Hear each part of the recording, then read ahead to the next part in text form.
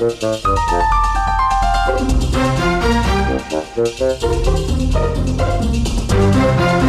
media sesión las bolsas europeas cotizan planas, aunque eso sí vemos números verdes después de abrir con moderados descensos. Parece que los mercados están esperando un catalizador para moverse en una dirección u otra y esto será lo que haga mañana el Banco Central Europeo. Steen Jacobsen, que es economista jefe de Saxo Bank, tiene una predicción bastante radical de lo que piensa hacer mañana el Banco Central Europeo. En su opinión, el organismo va a recortar los tipos de interés en 15 puntos básicos y va a fijar tasas de depósito negativas. Dice Jacobsen sobre el Banco Central Europeo que va a volver al modo de emergencia, ya que una crisis en los mercados emergentes, la deflación y la continua tasa de desempleo parecen haber golpeado a los planificadores centrales hasta la médula. Y en una jornada como la de hoy tenemos que hablar de SACIR, que cae con mucha fuerza en el IBEX 35 después de haber confirmado que la autoridad del Canal de Panamá ha roto las negociaciones. Se abre un periodo de incertidumbre para la constructora, señalan los expertos de ahorro corporación que el peor escenario para SACIR, no a un acuerdo, perder la obra